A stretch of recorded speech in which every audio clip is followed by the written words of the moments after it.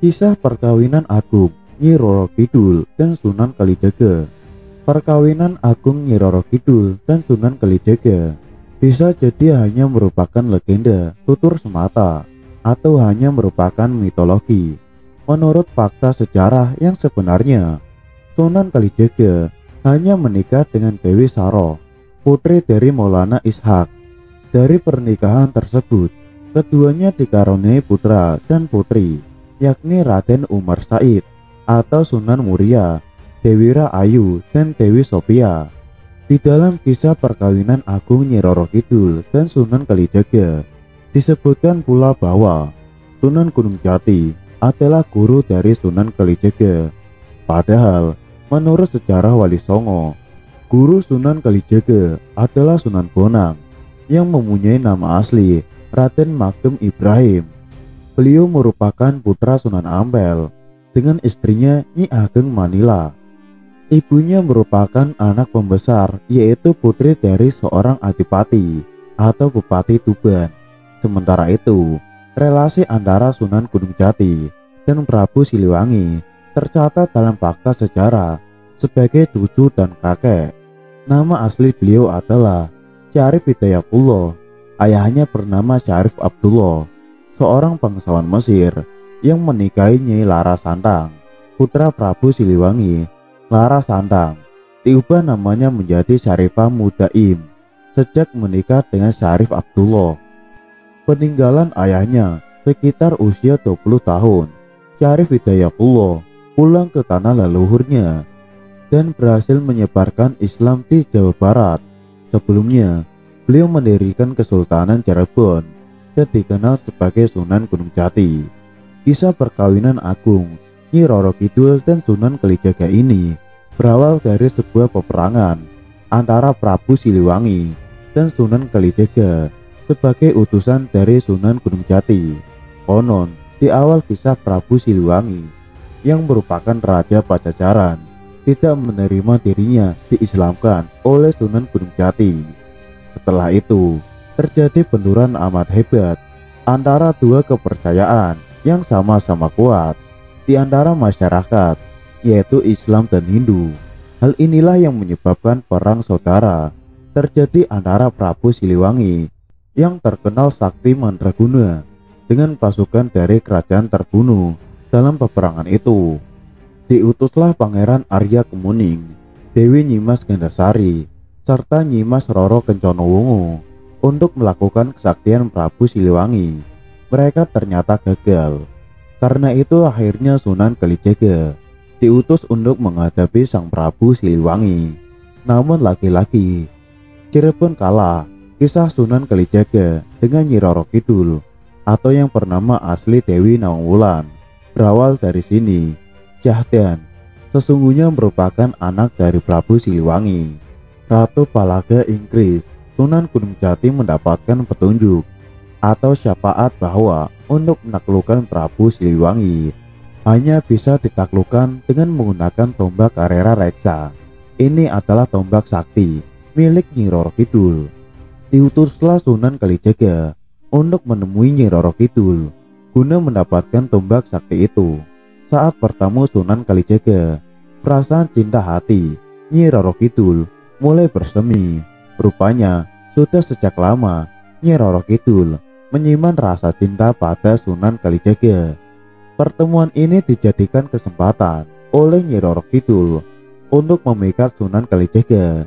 Dia berpura-pura menolak meminjamkan tombak sakti Karera Reksa dengan alih terlebih dahulu meminta untuk dipertemukan dengan sang raja Panatagama sebutan Raja Cirebon. Singkat cerita, Sunan Kalijaga membawa Nyi Roro Kidul ke hadapan Sunan Gunung Jati.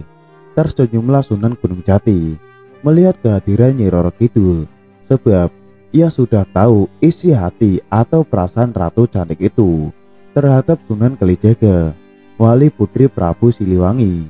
Kemudian Sunan Gunung Jati mengundang Sunan Kalijaga untuk masuk ke Kaputren lalu berkata, Wahai Kalijaga, sebenarnya tidak ada yang lebih mulia terkecuali berdasarkan pada keagungan syiar Islam.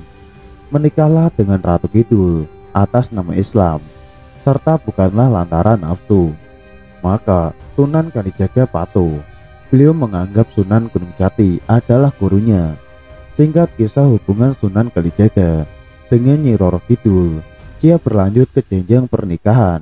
Namun sebelum pernikahan terjadi, Nyi Roro Kidul mengajukan sebuah syarat sebagai marnya, yaitu tasbih kecubung wulung yang ditatangi dari Laut Merah, syarat yang tak dapat ditawar lagi.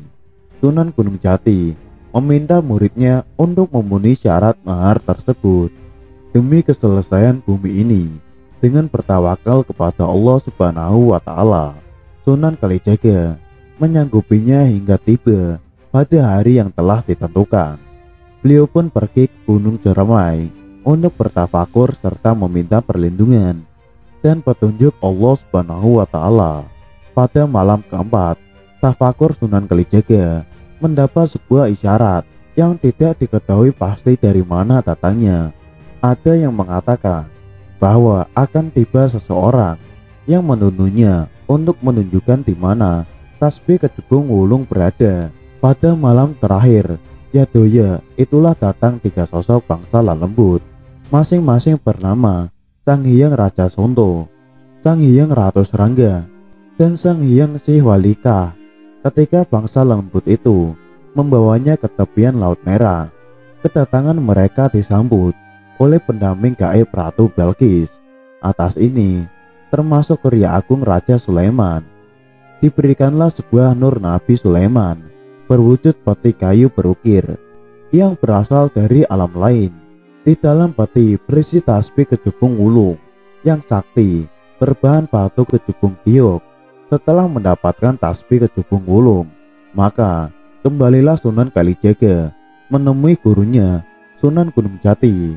Tasbih kejubung wulung dipersembahkan sebagai mahar perkawinan dengan Nyi Roro Kidul. Dengan mahar ini, Sunan Gunung Jati kemudian menikahkan Sunan Kalijaga dan Nyi Roro Kidul. Setelah resmi menikah, maka sesuai perjanjian, Nyi Roro Kidul harus menyerahkan tombak Karera Reksa kepada Sunan Kalijaga yang telah menjadi suaminya. Setelah mendapatkan tombak Karera Reksa, Sunan Kalijaga segera menghadap Sunan Gunung Jati. Tombak itu diserahkan kepada sang guru oleh Sunan Gunung Jati. Bisakah itu diberi tambahan satu tombak di atasnya atau disatukan dengan satu tombak lagi sehingga pusaka Karera Reksa yang semula memiliki tujuh cabang serta satu jalur atau tadi runcing di sampingnya berubah menjadi sembilan cabang. Namanya pun diubah menjadi tombak pusaka agung Buana Nirwana Cakra Langit. Dengan pusaka Cakra Langit inilah pada akhirnya Prabu Siliwangi dapat ditaklukkan oleh Sunan Kalijaga keduanya melakukan perang tanding sepanjang tujuh malam berturut-turut dan setelah digunakan untuk menaklukkan Prabu Siliwangi, tombak Bulana Nirwana Cakra Langit akhirnya dimuseumkan di Keraton Laut Pantai Selatan.